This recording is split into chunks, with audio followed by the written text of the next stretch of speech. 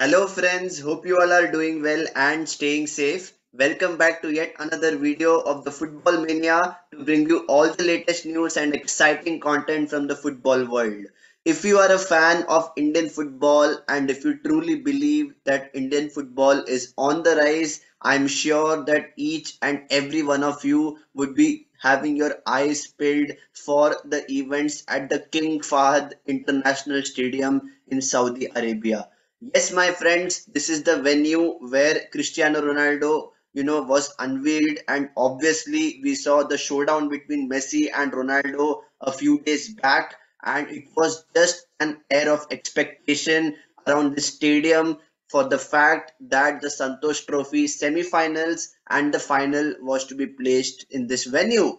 And definitely, I was expecting a humdinger when it came to the semi-finals because Punjab were facing Meghalaya and services were facing Karnataka. And what I expected from both matches was a very, very good tactical battle where both teams would like to, you know, be on the front foot, be aggressive, and take the game to the opposition. And whenever you are playing a game of football, that is the most important thing. You need to start, especially the first 10 to 15 minutes on the front foot. You are pressing higher up the pitch, and you need to give no time and space to the opposition. And this is exactly what Punjab did in the first encounter against Meghalaya. They were very, very physical, and that is something which we expect from a side like Punjab coming up against the technical team like Meghalaya. I expected a really close battle. And even after Punjab took the lead in this match, I expected twists and turns. And mind you, this was the first ever time that VAR was officially used in a domestic cup competition of Indian football. That just goes to show that this is a stepping stone towards greater milestones in the future. And what Meghalaya did was just outstanding. They were resolute in this match. Even after they were 1 0 behind, they found a way come back into this match and they left it late for the winner. And eventually, you have to say that when you have grit and determination, along with passion and commitment, your team is going to give your 150%. And that is exactly what Meghalaya's head coach got from this team.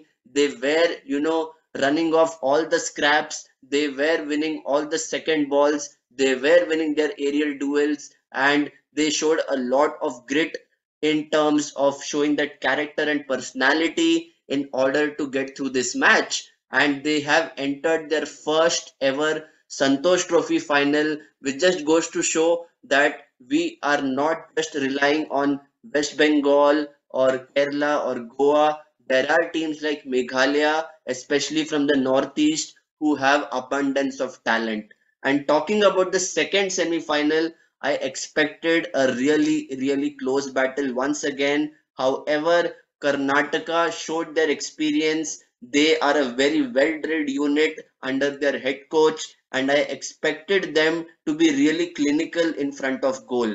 The first 15 to 20 minutes were really cagey. Both teams were looking to, you know, open up the space through the wings, and that is something which was quite interesting in this match because, to be honest, this is the you know first time I'm watching an Indian football match after probably two or three months, and I expected really high intensity, and both teams provided that However, the cutting edge in the final third is what ultimately determines the outcome of the match. And even though services took the lead, you know, I think it was in the 40th minute and it came through a set piece. There was a stroke of fortune in that because the striker was just in front of the goalkeeper and he just had to flick it on either side to put services 1 0 ahead. However, Karnataka did not drop their shoulders. They were in this match, and probably two or three minutes later in the first half, you know, they got a free kick on the edge of the penalty box and they rifled it into the top of the goal. You know, it was just an outstanding free kick.